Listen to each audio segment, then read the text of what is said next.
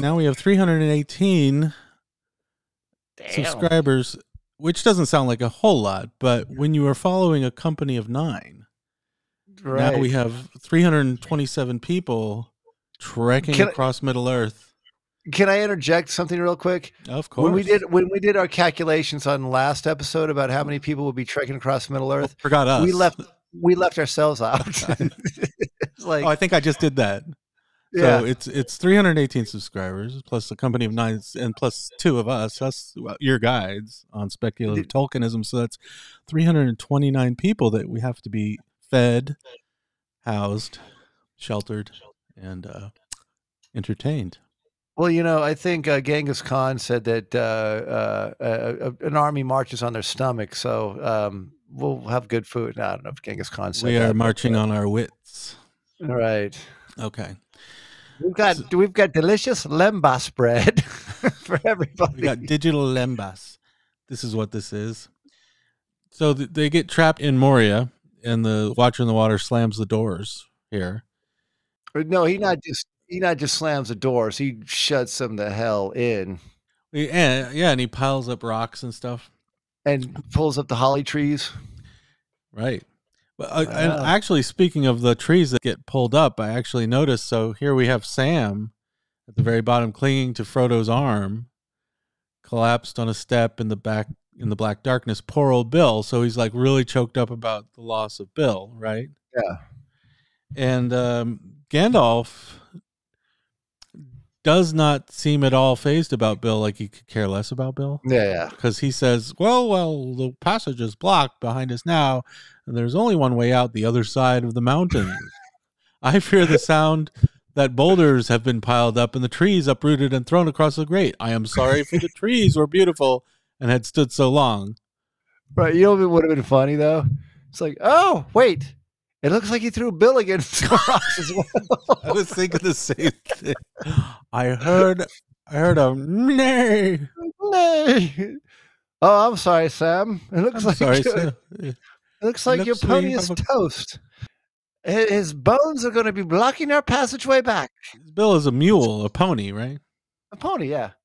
Right. What's the difference between a mule and a pony?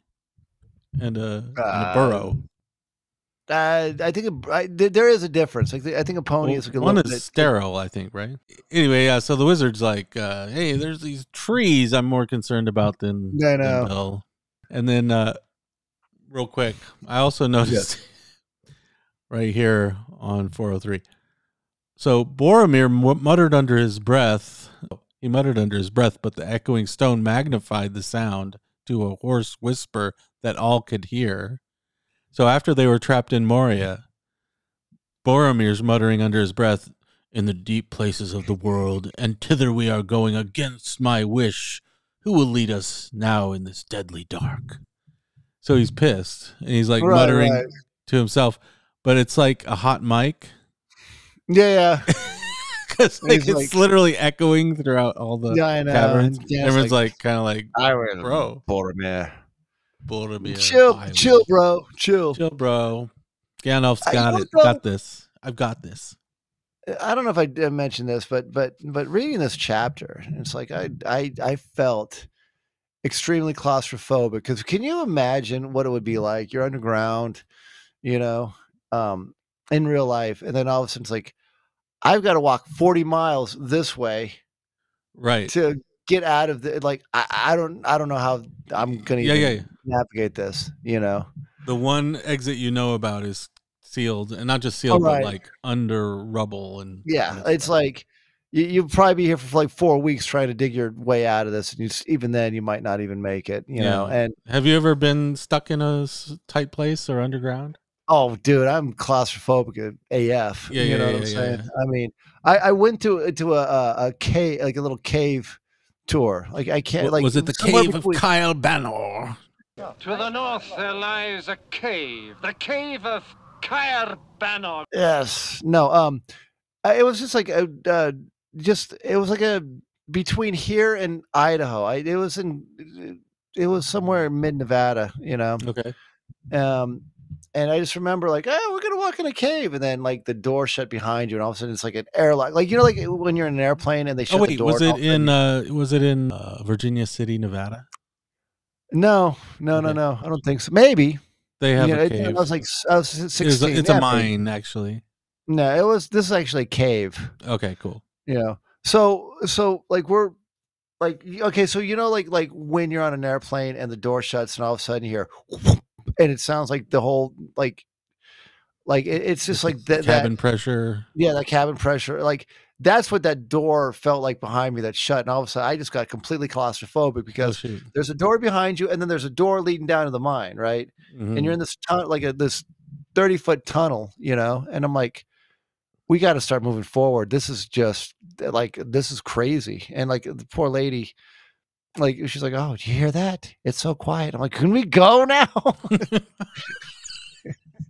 Did she ever do the thing where she turned out all the lights? uh, maybe. I, I don't know. I was like, I was panicking by that time. My dad Um, was like, usually when you get a mine tour or a cave tour, like your guide will be like, "Okay, I want you to turn off your flashlights," Yeah. and then you turn off flashlights, and it's like pitch black, and there's like, "This is what real darkness looks like." You don't know what real darkness is. No, anyway. Yeah, I know what you mean. I actually never really realized I was claustrophobic, and I have been in a few like um, you know, trapped in an elevator once or twice. Never really bothered me too much, Right, right. except the first time I ever realized I was super claustrophobic is I was in a um, it was a cave. It was like a man-made cave. It was in a place called Cappadocia in uh, eastern Turkey Right, right. and these are like caves and caverns that might have existed naturally, but they've certainly been like kind of like Moria, like right, right. built upon and and just levels and tunnels built over hundreds and hundreds of years, basically like Moria. Do they, have, Um, do they have mithril there? they might have had even mithril. I never looked, but it- but it's like the the walls of this hillside that these caves are carved into seem like very soft. Like they're not like limestone or anything. They're kind of more like sandstone or or even softer, like mud. Yeah, yeah, yeah. So oh. So I'm down in this rat run, ten stories down. By this point, we've been walking for a while, and I'm like, and he's like, "Oh, now we're 700 meters under the earth," and and it's getting tight, tighter and tighter, and Yeah. you're just surrounded by these mud walls, and I'm like, I just started panicking. I'm like, I need to get to the surface right now. Yeah. Which way to the surface? Yeah, dude, that would- that would just be. mm, Yeah, I can only imagine. yeah. So That would. and then oh suck. one one other thing i was in um uh the one of the pyramids of giza and Mm. uh you need to walk through a tiny little narrow hallway up Uh-huh. like kind of in a diagonal kind of going up this way and it's this tight squeeze and you got all these like japanese tourists coming down the other direction you're basically Oh. like laying against your head faces against the wall and it's 130 degrees and and i'm like i'm going to die here that is horrific. so the point being is that they're stuck in Moria and they can't get out. Yeah. They have to go this so Tolkien established this very good reason for why they actually have no other option now. They have to go through You know it's funny though? Like if you look at it, it's like oh, like like they they they went through this big ordeal, right? And they're like, well, let us sit and rest and have something to eat. Like, oh, Uh, get this green slime off your arm I from know. here, have You- a spot of tea. Literally like like something that was probably older than Galadriel, like try to pull you down into the uh, uh, pits of the water, and it's like, oh, I just need a little bit of crunchy munchy, you know. When you say older than Galadriel, you you're, you make it sound like Galadriel's like this old crone. Yeah, but sh- she's Well, I know Probably- she's super old. yeah. but she's still beautiful, right? I am the tempest. There's a tempest in me. There's tempest in me. Well, well, I mean, the the one interesting thing that happens, like before they have these big encounters with the Balrog and the orcs and stuff, is um Gollum makes his reappearance.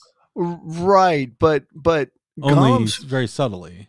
yeah, very subtly because that's what I was going to bring up is the fact Yeah, that yeah. Frodo with the ring and and maybe to a lesser degree because he he was kind of on the precipice of of entering into the shadow realm or whatever can see way better in the dark but he can Right. also sense things he senses danger ahead and danger following him and that's like like i think that's the first indication that that that gollum is in the He's you know what i'm saying Yeah, and Yeah. you you- and you you do see kind of through Frodo's perspective that he's the first kind of person who well, I mean, Gandalf is probably aware of what's going on as well, maybe Aragorn even too.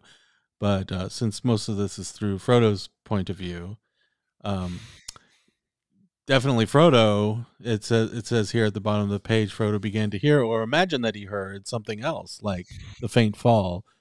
Or I mean, first of all, r- real quick, this paragraph that's kind of highlighted here Mhm. um, is all about the sounds of things. yeah, And I think actually this whole chapter I've not I noticed it has tons of like references to sounds. And Yeah, yeah. it's kind of like Tolkien knew that okay, so we're in a dark place. So not a lot of things to look at. So I'm really going to describe a lot of sounds. Um yeah, and a yeah. few like you know oh they they feel the wind in certain areas but mostly it's about sounds and so each person has their different stride um the the patter of hobbit feet and the long stride of aragorn. Um anyway so frodo began to hear or imagine that he heard something else like the faint fall of soft bare feet. Never loud enough or near enough for him to feel certain that he heard it but once it had started but once it had started it never stopped while the company was moving but it was not an echo for when they halted it pattered on for a little all by itself and then grew Yeah. still but does isn't isn't that what echoes do like after you stop talking it kind of goes on by itself for a a little, little bit, but but, yeah but I know, there's what, like I know what he means yeah, yeah, like yeah. more and- than and- an, more than an echo would right, right. It's convenient that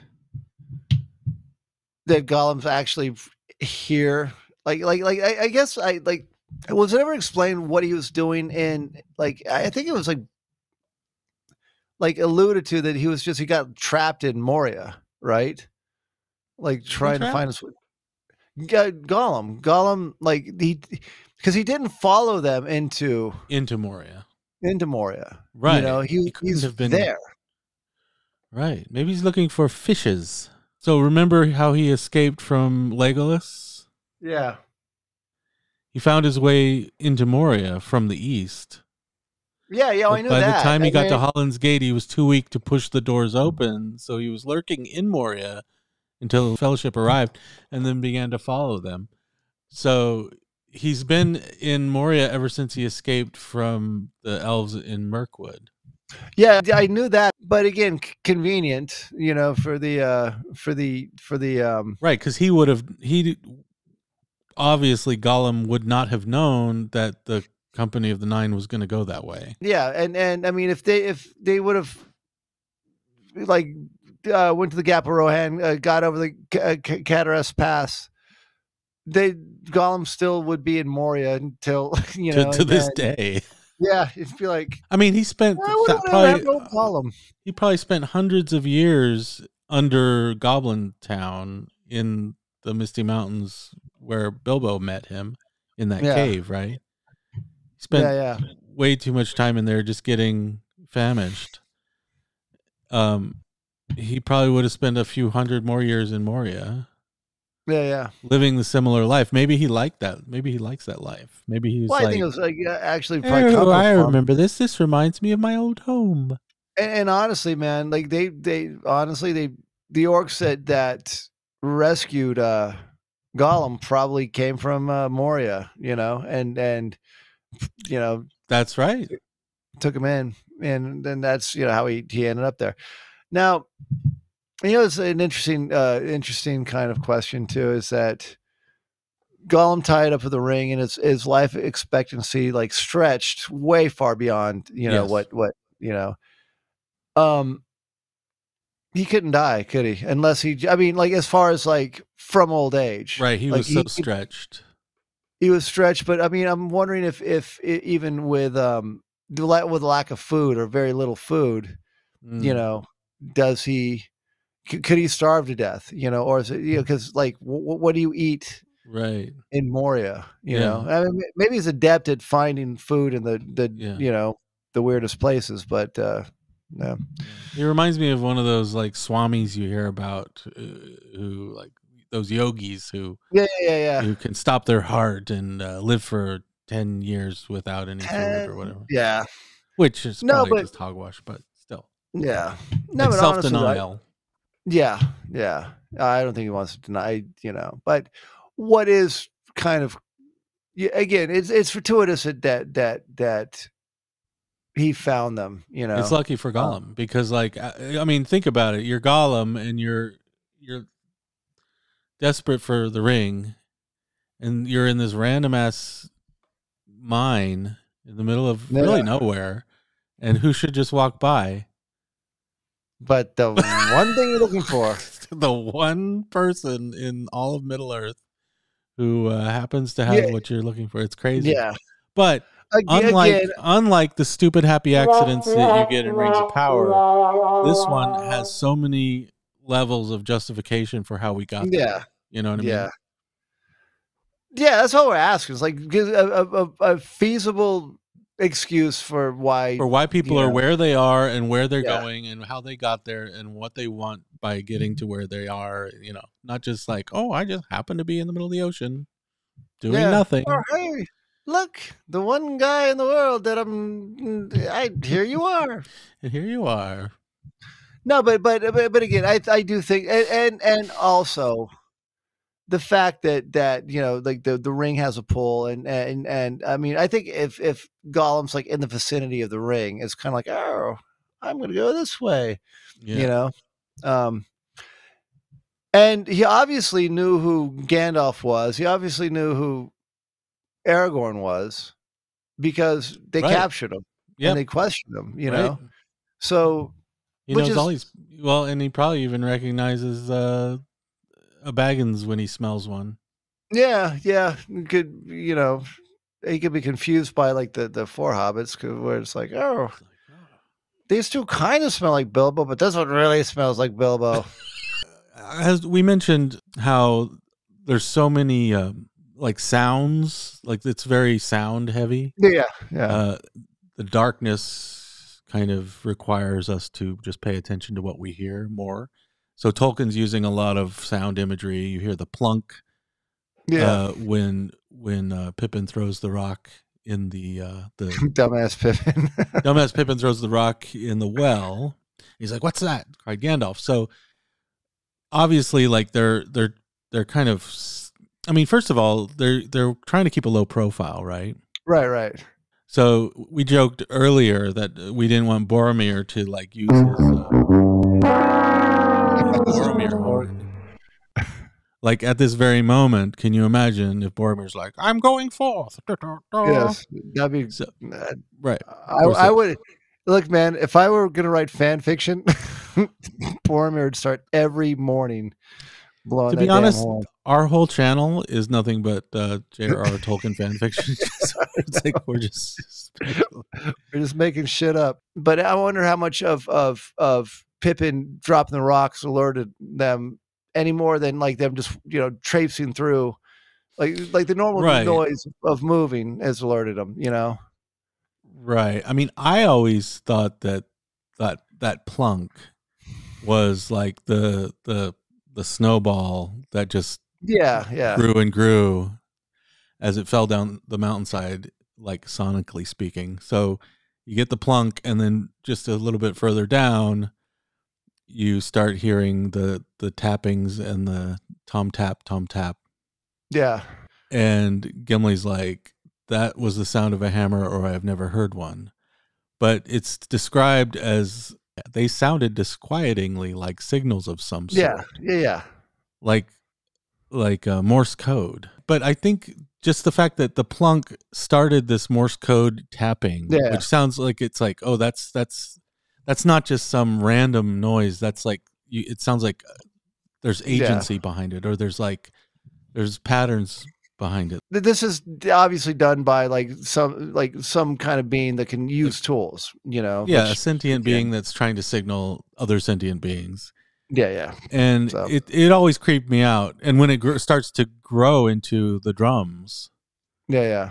um, then you know that it's like war drums are afoot. But this it starts with the plunk, and then it gets to the tap tom, and then it Yeah, turns yeah, into yeah. like war drums. So, but the very fact that and and earlier, um, you heard like uh, Boromir kind of mutter something Right, under his breath, and it the the cavern kind of makes it echo and makes it audible to everyone around. I I called it like a hot mic situation. Yeah, yeah, yeah.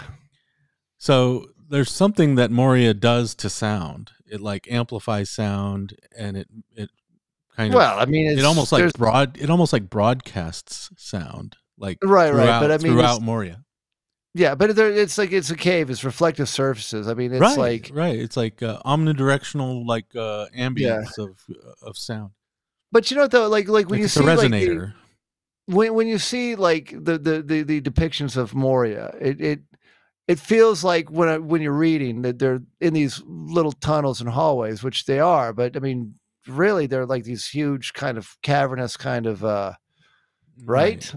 I mean, well, that's they're all what. connect. Right. I mean, a lot of times they can't see what's surrounding them because it's so dark. yeah, yeah, So they they don't know if it if the darkness runs into a wall like two feet away or twenty feet away. But every once Yeah. in a while, they'll pass an arch or or a or a column or Yeah, some piece of architecture that gives them a sense that there's there's something kind of architecturally surrounding them. Well, the point is like uh, like these don't feel like the uh, the the Goblin Town. Goblin Town felt like very claustrophobic. Like it was like just Mm. these these maggot holes, and then you get the one big you know one big room where the Great Goblin was, and then everything else is kind of like they just they are you know maybe like these side rooms and stuff like that. This feels like like like again like the the for lack of a better term the underground kingdom. You know Yeah. that's not it's claustrophobic in the way that it's underground under the mountain but it's Yeah. not claustrophobic in the way that the the the dwarves probably built this to kind of be like this grand like this grand Oh yeah, yeah, yeah, yeah. I always got the sense that it was, you know, it's built by dwarves so it's going to be well built. yeah it's not yeah. just going to be like maggot holes and rat runs. It's going to be like a real nice place if it Yeah, yeah. had been kept up and maintained.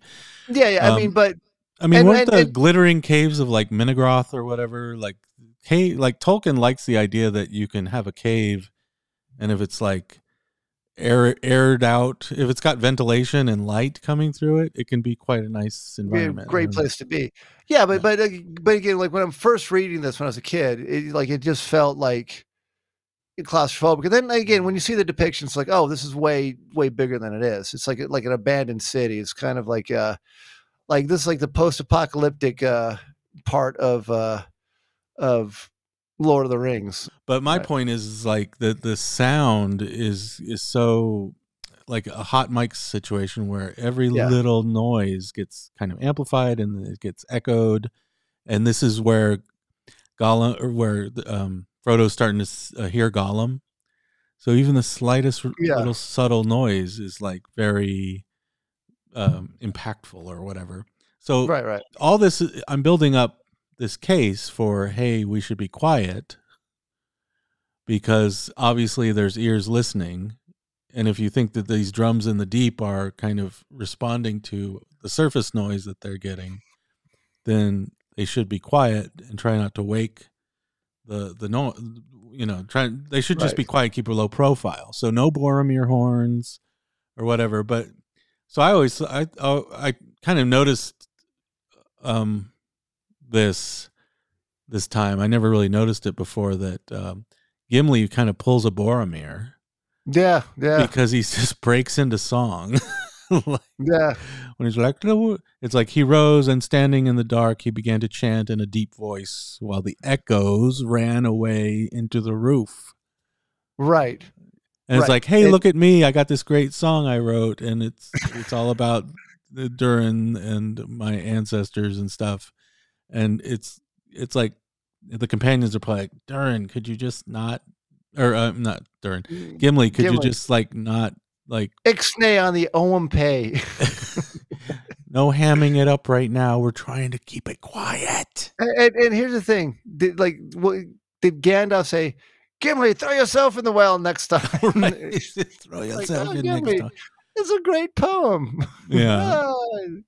What did he say? What did, did he say? Anything about like you know sh- shutting the f up or? Uh, No, well, it's like he goes on for Long, quite some it's- while. it's like. I mean, it's like, like look, man, another you- you- stanza. you can you can make make an argument that like Pippin f- dropping the rock down there like like alerted something, right? But it could also be like, oh, those uh, maybe a rat knocked a knocked something off, you know, up there. Exactly. Like, Like, how many? Like in all of Moria, do you think a pebble doesn't fall down a Yeah. hole every once in a while?